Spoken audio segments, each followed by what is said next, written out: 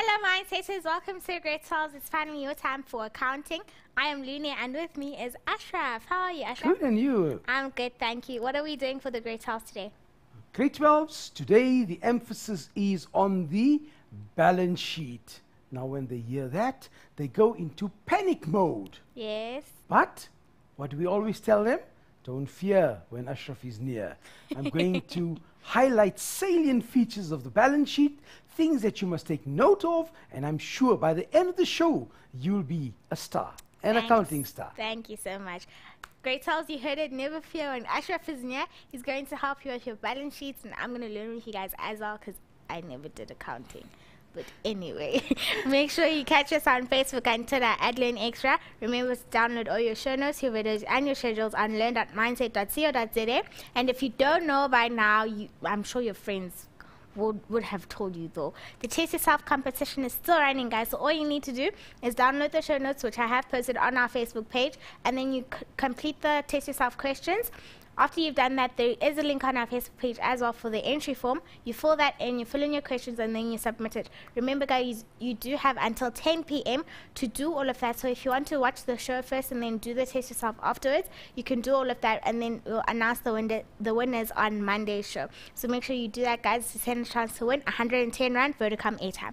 With that said, Ashraf. Yes, over to the balance sheet. Yes. Okay, let's start with the balance sheet. And obviously, like we said, the focus is on the balance sheet. And with regards to the balance sheet, what are we looking at? Let's start with the challenge question. The challenge question says, where in the balance sheet will you place an item that says insurance claim? Now, you may or may not have heard of it, but think insurance claim, where will I place this item in my balance sheet? Okay, so that's your challenge question. Let us take a look now at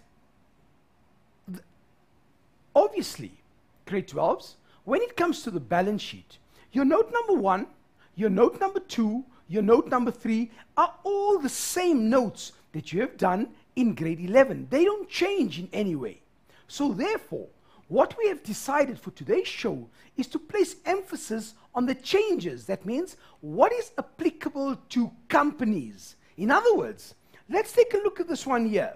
The ordinary share capital.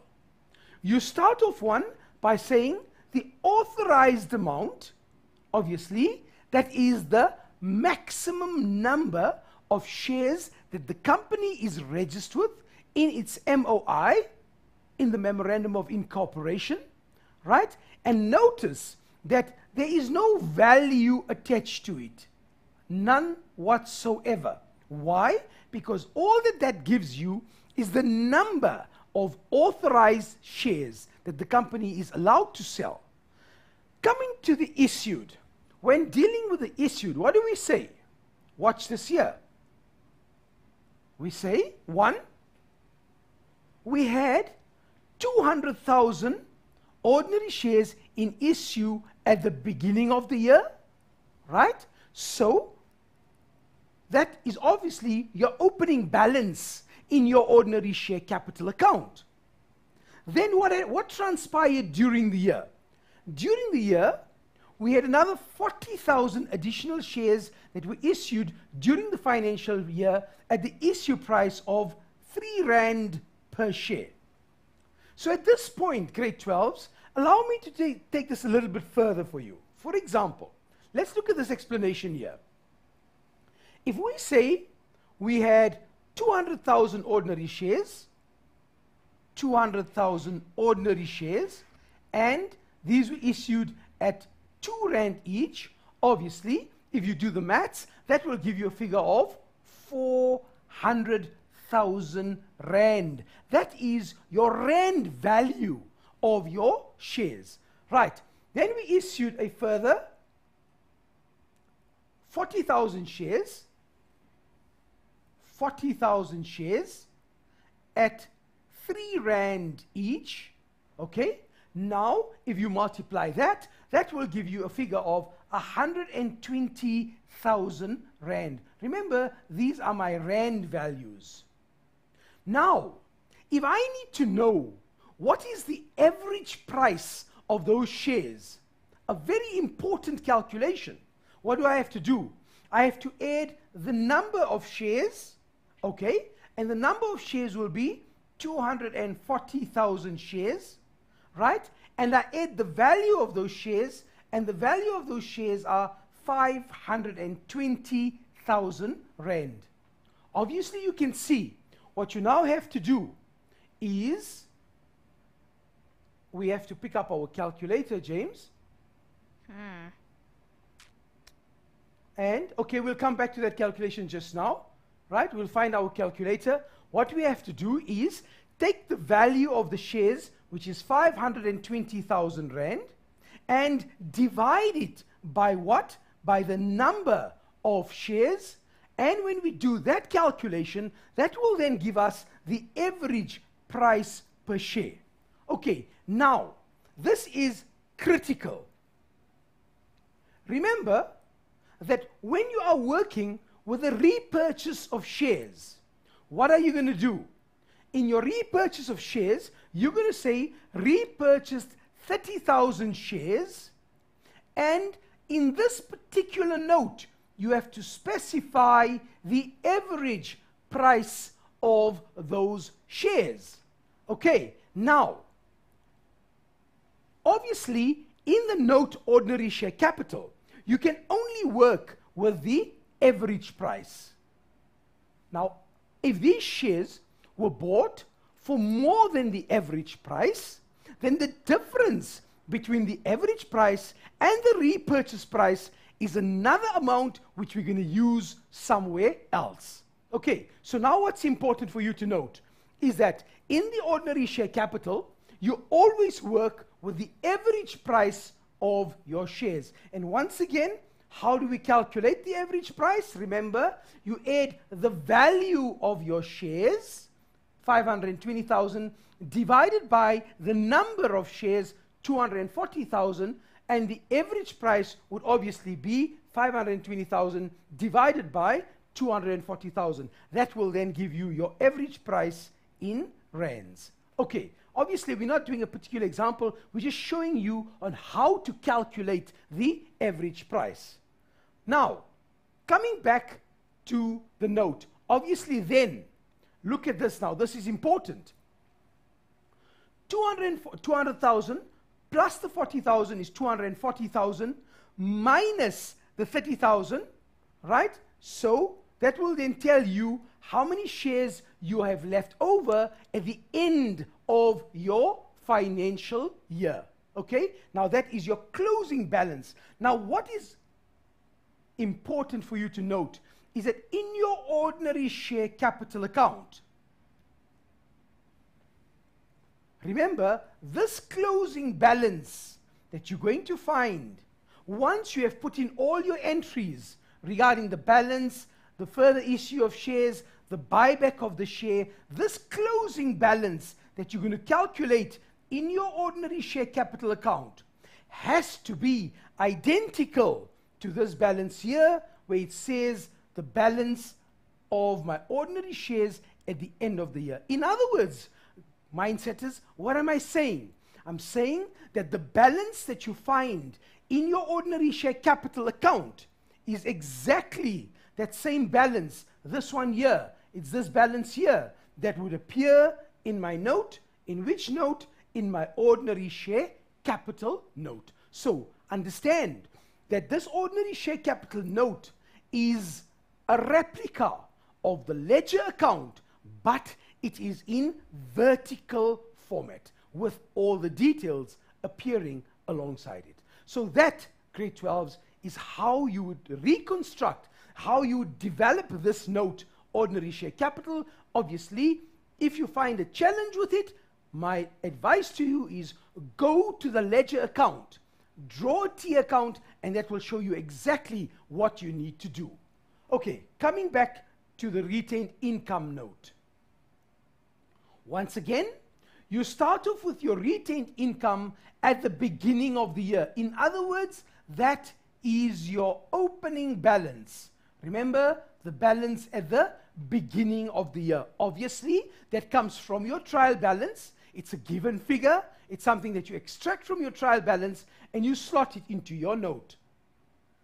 Number two says net profit after tax. Now be careful. It's your net profit after taxation. Now, once again, let me draw your attention to something which you have done already and you should be fait with. In my appropriation account, this figure that appears on the credit side here, which comes from my profit and loss account, remember, that is not my net profit after tax. That is my net profit before taxation. Do you recall from the lessons that we have done that in your income statement you have a figure that says net profit after tax? Yes, that's the figure that you will use in your retained income in the note. So it's your net profit after tax. Please be careful on the different permutations on what information is provided to you and how you will go about doing the necessary calculations. Okay, now watch this here. The next item in that note says repurchase of shares. And we have specified to say it's the difference. So, what do we mean by this here? Let's take an example. If we say, for example, let's do it here, that the average price of the share was 5 rand, okay, and we had repurchased this share at 7 rand. So clearly you can see a difference between the average price and the repurchase price. Therefore, there's a difference there of 2 rand per share. Now, if we simplify it and make it very, very simple, then the, if we just take that, assuming we had, obviously it's not going to happen in reality, but if we break it down to one single share, in this particular repurchase, we will say 7 Rand. Sorry, let me redo that. We said we want the repurchase price, and here we want the average price. The average price was 5 Rand. Okay? So, in this note here, we put in the 5 Rand here, which is the average price of the share. And in my retained income note, we put in the 2 Rand. So obviously, what I've done there is I've broken it down to one share. Obviously, not you're not going to buy back one share, but just to illustrate to you so that you know exactly what price will you use where. So once again, in my ordinary share capital, I use my average price and I, in my retained income, I use the difference between the repurchase and the average price. So therefore, in this repurchase of shares, and remember, it's always a subtraction because you are obviously the double entry is what? It's a credit to bank and a debit to retained income. And when you are debiting your retained income, you are decreasing your equity, therefore debited. Okay, so that deals with the repurchase and the buyback of shares. Then you come to your ordinary share dividends. With regards to your ordinary share dividends, remember it's your paid amount, which is your interim dividend, and it is your recommended amount, which is your final dividend. These two dividends are then added together to give you the total of your dividends. Just remember that with dividends, you got to read the question very carefully to see whether the new shares that you have sold, whether they were sold ex dividend or cum dividend. What do I mean by that? The new shares that are sold this year, do they qualify for a dividend? Yes, they were sold cumulative with a dividend. That means they qualified for a dividend. However, you may get a scenario where the new shares are sold ex dividend, meaning they do not qualify for this particular dividend, and therefore that must be taken into consideration when you are doing your calculations. So, if we summarize what we have done, you would notice that these two notes are unique to a company. And yes, if you master these two notes, then definitely all the other notes are a piece of cake. Chocolate cake. Okay? so you know what's our favorite here. Yes. All right, guys. So look at this once again. Remember, the formats are important. Do not expect that you will be given this detail in the exams. If you get it, good luck. If not, make sure you remember. And that's another tip for you for preparations. Yes, when you're preparing for any class activities, control tests, June exams, prelim, final, whatever it may be, practice on your formats as well. Tell yourself, right, let me draw up the retained income note. What am I going to put in there? Balance at the beginning of the year, net profit after tax, repurchase of my dividends, the difference, then my ordinary share dividends, and then obviously my balance at the end of the year. So that's the route to go, guys. Make sure that you practice with these notes and you understand them, and that is important. Over to you. All right. Mindsetters, you are going to take a break. Don't go anywhere. We'll see you straight after this.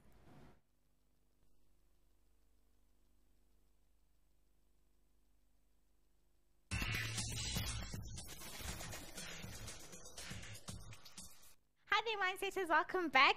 Just quick shout out to Wanele Nkule and Lori. Just a question from Prishka. Hey, Luna, please help. Yo, Luna, Looney, please help. I want to fill in the test yourself answer sheet, but it has 10 questions. 10 question spaces, but the notes only have 8 questions. Okay, Prishka, all you need to do is answer all you have. Like, don't worry about the number of questions and the number of spaces. Fill in anything you can, and then the amount of questions you answer correctly, we'll take those into consideration. It doesn't matter about the spaces and everything else. Okay, hope you're cool with that. Ashraf. Yes, yes. are we back? Yes. Okay, guys, what are we're going to do now, I'm going to highlight salient features on the balance sheet that you would normally find in your exams. Let's look at this one here very carefully. What are we told? We are told that the loan statement from Superbank on the 30th of June reflects the following. One, it tells you that your balance at the beginning of the year is the 384,000. Then you've got your interest that has been charged to that account, which has been capitalized of 57,600, right? Then you are told that your monthly payments in terms of the loan agreement, right, which includes the interest, right, is an amount of 105,600 and therefore your balance at the end of the year is 336,000 rand. Now remember, whenever you are doing a calculation or you're doing anything with a loan, what is it that you have to remember? You have to remember the following. One, when it comes to a loan, remember that your loan is a liability, and by definition, when we talk about a non current liability, we are saying that the loan will be repaid over a period greater than 12 months. So, break the loan up into its two components. And what are the two components? One is your non current liability, that means greater than 12 months. And the second one is your current liability, meaning less than 12 months. In other words, in other words, whenever you're faced with a loan in your balance sheet, look for information. What are you looking for? Let's go back to the question and see. It tells us there that these monthly payments include the interest and the capital repayments of the loan, a total of 105,600. Okay? So that was the interest plus the capital portion of my loan. And, you know, critical when it comes to accounting. what do we specify? We say RTFQ. Let's go further. The monthly capital repayments of the loan will remain constant until the loan is fully repaid on the 30th of June. In other words, the capital portion of the loan that will be repaid over the next financial year will remain constant. Now, watch this here. We have paid a total of 105,600. So, 105,600, right? That's the total amount that we have repaid, minus the interest of 57,600. Remember, that's given information. Will give me a figure of 48,000 Rand. Now, what is the 48,000 Rand? Obviously, the 48,000 Rand is the capital portion of the loan that you have repaid. In other words, in other words, watch. When I'm working with my loan, this is what I'm going to do. I'm going to say my loan balance at the end of the year is 336,000. Watch the layout, please, guys. Very important. Open my bracket. 336,000. Okay? That's my closing balance. That's the balance that I have in my loan account. Minus. Remember, we worked out a calculation. What was my calculation? I said, take my total amount that I repaid, which was 105,600, there it is, okay, on my calculator, minus the interest portion, on the, and the interest portion that was capitalized was 57,600, as you can clearly see. So I subtract that from my capital portion, or the, por or the portion that was repaid, and I'm left with a balance of 48,000. So therefore, 336 minus 48,000 Okay? And 336,000 minus the 48,000 will now give me a figure of 288,000. What is the 288,000? That is the portion of my non-current liability. What do we know by definition? A non current liability is that portion of the loan that is repayable over a period greater than 12 months. Now, look at your current liability. Once you have subtracted that component from your non current liability, you need to put it somewhere. It needs to go somewhere else. Why? Because it has shifted from being a non current liability to being a current liability, and therefore you have an item called a short term loan or the current portion of your loan, right?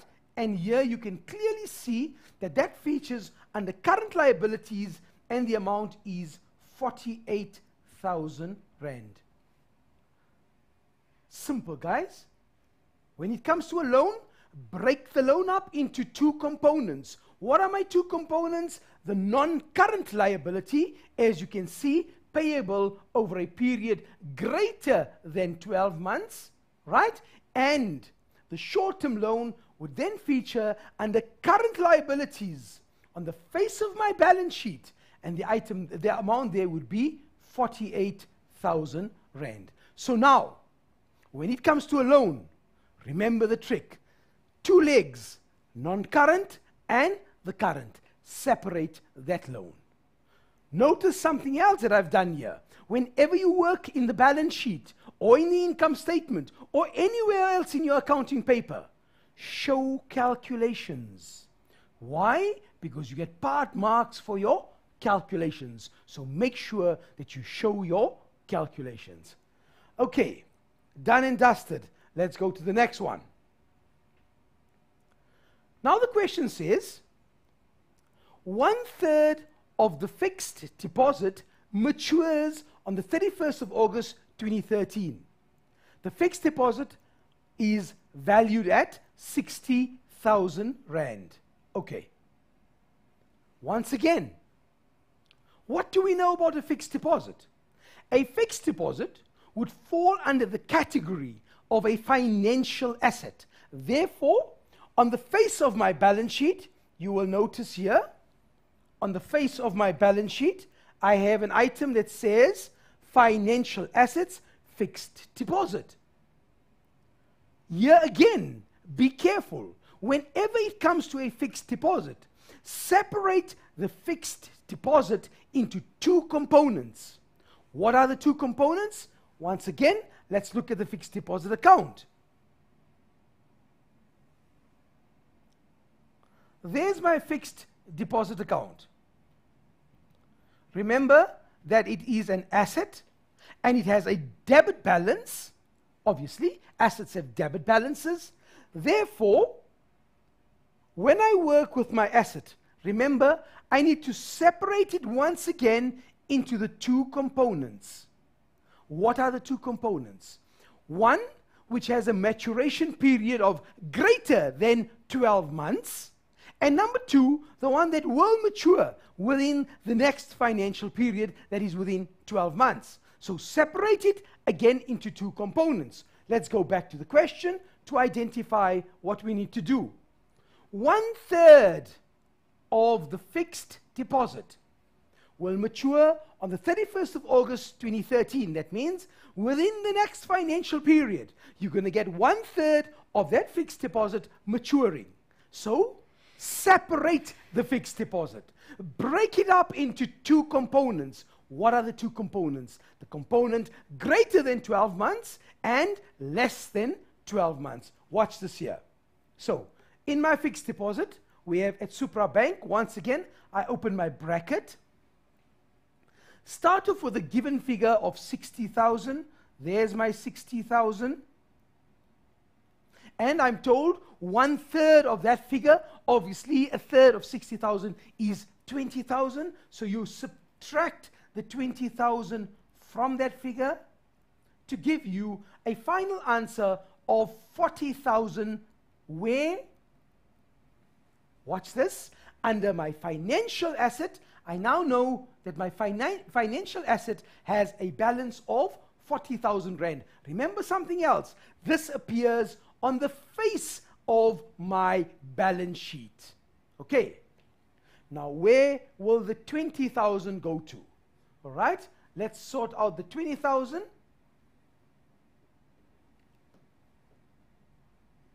Let's sort out the 20,000. Let's create some space there. Okay. The 20,000 Rand, which will become available to you in the form of cash within 12 months, will now feature in my note cash and cash equivalents. Okay, remember this, guys, that your cash and cash equivalents is a note to your balance sheet. However, you find examiners sometimes asking you not to draw up the notes to the balance sheet, but rather to show calculations on the face of the balance sheet. Therefore, under your item, cash and cash equivalents, you would open up your bracket Okay? Let's identify the items that would go under cash and cash equivalents. Remember, it will be your fixed deposit maturing within 12 months. In our example here, it would be the figure of 20,000 Rand. Plus, what else would you have? You would have your bank if it is favorable. What else would you include in there? Your petty cash, your cash float, all your cash items would feature under the item cash and cash equivalents. Okay, got that. So separation, in our example here, what have we now done? We have separated the fixed deposit into two components. What are those two components? This one here, greater than 12 months. The 20,000 Rand, less than 12 months. Let's, let's show you how practical and how, what's the rationale for doing this here. If you're a reader of this balance sheet, immediately you can tell yourself, okay, fine. In this business here, there's an amount of 40,000 Rand in a fixed deposit to which we will not have access within the next financial period.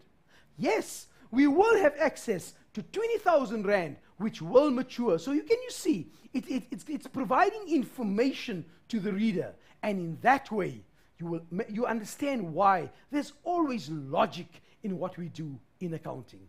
We do it. Accountants do it with logic. Okay, so that was the fixed deposit. Let's look at another, another question. The following balances appeared in the books on the 28th of February 2013. You had a figure for creditors control of 720,000 and you have a figure for cash at bank 66,000 which is favorable because they're not giving you any further information. So you assume that that is a debit balance. But remember, whenever it comes to bank, what is important for you to note is that what is the status of my bank account? Is my bank account favorable or is my bank account unfavorable? Why? Because if my bank account is favorable, then, then, it's, then it's an asset. But if my bank account is unfavorable, then my bank account is definitely a liability. So keep that in mind. Remember, when I'm dealing with bank, I must have my wits about me in deciding whether to check and see is it an asset or a liability. What are we told? We are told that on the 20th of February it was established that a check issued to a creditor was post dated for the 15th of April to the value of 50,000 Rand. Right. Now, obviously, this information you would glean from your bank reconciliation statement. You would find it there. It would say debit outstanding checks, checks not presented for payment. In this case here, it is an uh, it's, a, it's a post-dated check that we have issued. Now the question that you need to ask yourself is, in reality, have we paid the creditor the amount of 50,000 rand? And the answer, grade 12s, is an emphatic no. We have not paid. Why? Yes, we have paid by making an entry in our journals.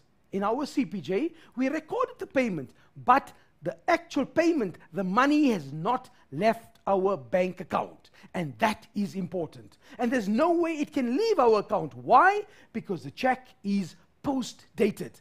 Therefore, what do we do? And it's very simple.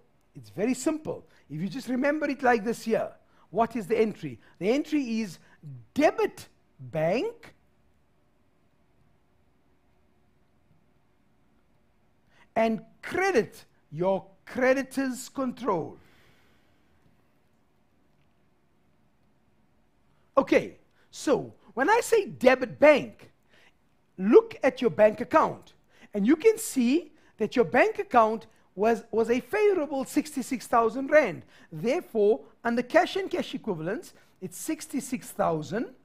When I say debit bank, it means I'm increasing my bank plus the 50,000 Rand of the post-dated check. And at the same time, when it comes to trade and other payables, we say the balance was 720,000 Rand.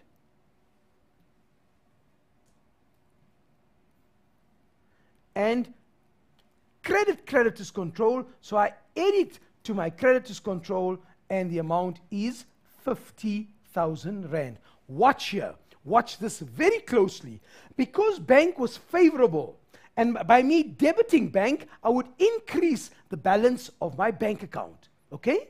And creditors control, by crediting it, I'm increasing my liability plus 50,000 Rand. But please take into consideration that if my bank account was in overdraft, then definitely you would not be doing what I've done here. Why? Then you would reduce the value of your overdraft. What do we mean by that? Watch this here if your bank account has a credit balance and if you are debiting it now with 50,000 Rand, then clearly you can see you are reducing your overdraft. What you have to remember the entry is a debit to bank and a credit to your creditor's control. Don't you stray or go away because we're waiting for your questions on mindset. All right, mindset is don't you stray or go away. Quick shout out to Nondumiso and Honte. We'll see you straight after this break.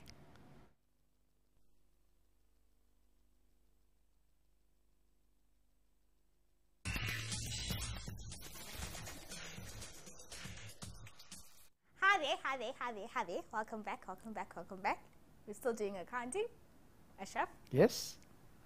Time for our questions. Yes. Okie dokie. Fire Challenge- away. Are you going to do the challenge question first or should we start? Let's take a question first. All right, let's do the challenge question All right, first. okay. Okay. Remember, let's go back to our challenge question. And what was the challenge question? The question was where in the balance sheet will you place the item insurance claim? Now, before we place it in the balance sheet, let us first understand what do we mean by an insurance claim? And let me illustrate by an example. Okay, in this particular example that we have here,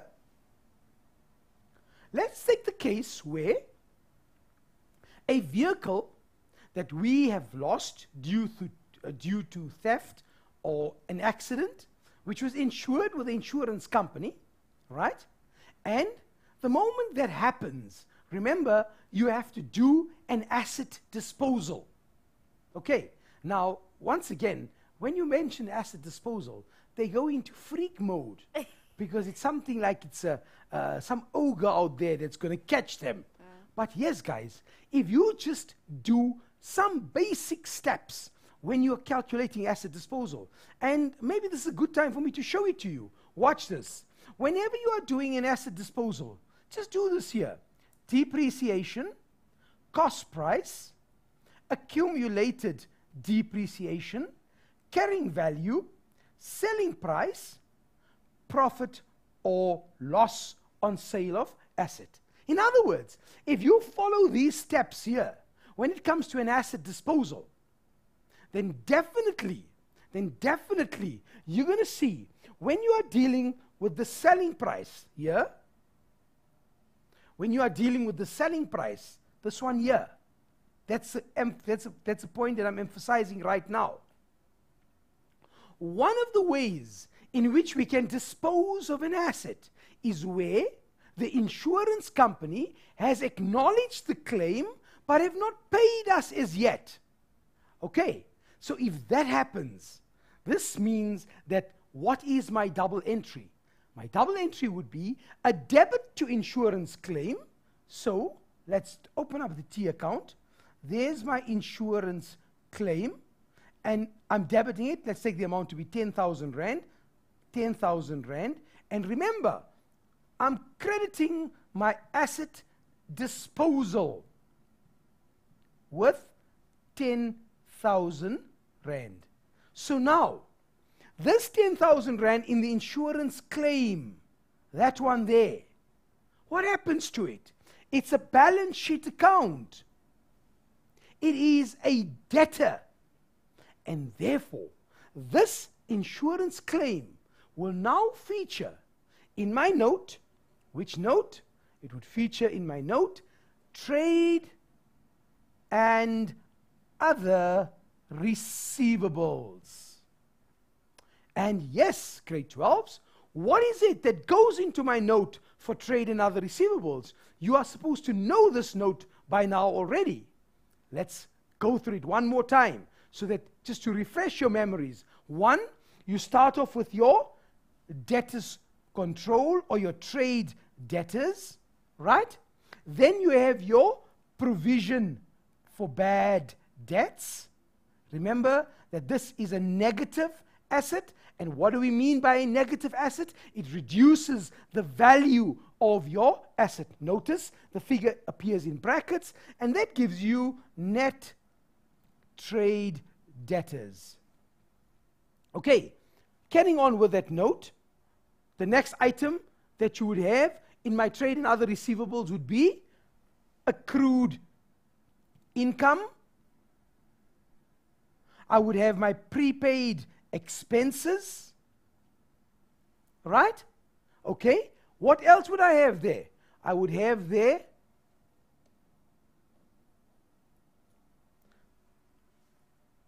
I would also have in that note there, I would have my insurance claim that I just spoke about now, the insurance claim. Remember, it is an asset, it's amount that the insurance company owes the business. So therefore, you can clearly see it falls under my trade and other receivables. What else would feature in my note for trade and other receivables? Watch. I would include in that one, which one? SARS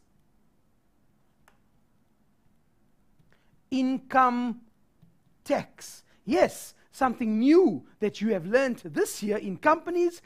The critical part is SARS income tax on the condition that it has a debit balance. Right. And then finally, another item that could appear under my trade and other receivables would be my deposit for water and electricity or a deposit for any other item that we, uh, we have paid a deposit for. So, coming back to the challenge question, the challenge question says, where in the balance sheet would you place your insurance claim? The answer to that is under trade and other receivables. There's it, done and dusted. Challenge sorted out. All right, thank you for that. And then Sianda is asking, is bank favorable when it's on the debit or credit side in the trial balance? Okay, good question. Watch here. Let's do the, the both the scenarios. You can see exactly what we are referring to. Here's your bank account. And in this case here, my bank account has a debit balance of a thousand rand. Now, obviously, this will make it much easier for you, and I'll link this question to the bank reconciliation. So you draw, drawing your knowledge from previous experience and making you understand what we are referring to. In our books, when we receive our, in, in our bank account, as it appears in our ledger, remember that when bank is on the debit side, it indicates to me that bank is an asset. Why? Because a thousand rand of our money is kept by the bank. Okay, now let's mirror that Let's mirror that. And if we mirror it this way here and we see that if we were doing the books of the bank, right? In the books of the bank, we are, our business is ABC stores. So there's ABC. The bank will have an account for us and it will have a balance on the credit side of a thousand rand. Why is that? The bank will say, watch, if I'm now the bank, watch, I've changed my position. I'm now the bank. What will I say? I'm owing ABC stores. How much? A thousand rand. Can you see? Credit balance on the bank statement. But in our books, we are ABC stores. We have a bank account. And what do we say? We say the bank owes us. Therefore, a debit balance in our books indicates a favorable bank balance. So, if we take, change the scenario now and we say, okay, now let's open up a bank account. And in this case here now, we say that the bank account has a credit balance in our books of a thousand rand. What does it mean? It means that we have a creditor. We are owing the bank money, and therefore the balance is on the credit side, meaning it's an overdraft. So, once again, our books debit balance, favorable bank balance, credit balance, we are owing the bank money. And you can see exactly, if you take that scenario now, take it to the bank situation, and we say, right, here's the bank, ABC stores, and now what will, a, what will the bank say? The bank will say that ABC stores owes us a thousand rand. So clearly, the point that I'm trying to make here and emphasize is remember the perspective that you're looking at it from. When you're looking at it, your perspective, that is the business, we are the business. A debit balance is a favorable bank balance, and a credit balance is an overdraft. So when you receive your bank statement, right? I'm sure many of you have bank accounts. When you receive your bank statement, what type of balance do you want to see? Debit or credit? Certainly, you want to see a credit balance on your bank statement. Why? Because the bank owes you that money. Simple. Brilliant. All right. And then another one from Sianda. What are fixed assets?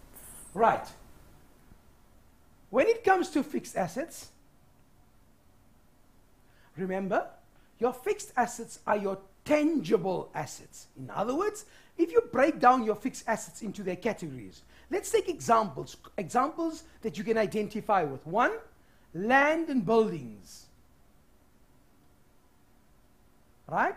Land and buildings is what we would term as a fixed asset. It's an asset, firstly, is something that has value.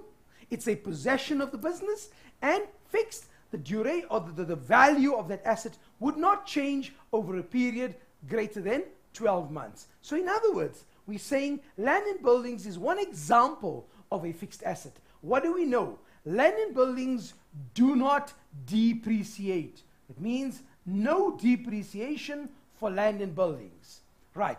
Now we come to the next category of fixed assets, and that is my vehicles.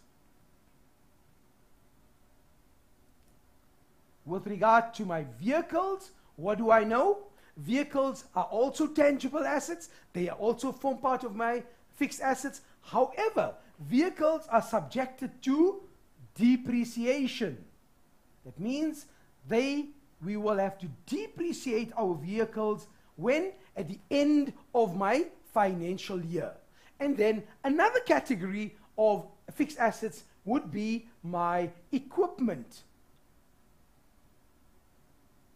Right? And this one as well is subjected to depreciation. Okay, so clearly you can see when we're talking fixed assets, we are talking note number three. Note number three is specifically designed to cater for information on all my fixed assets. Once again, just a bit more on note number three. What do we know? When dealing with note number three, when you start at the top, we have opening balances. And these are my balances at the beginning of my financial year.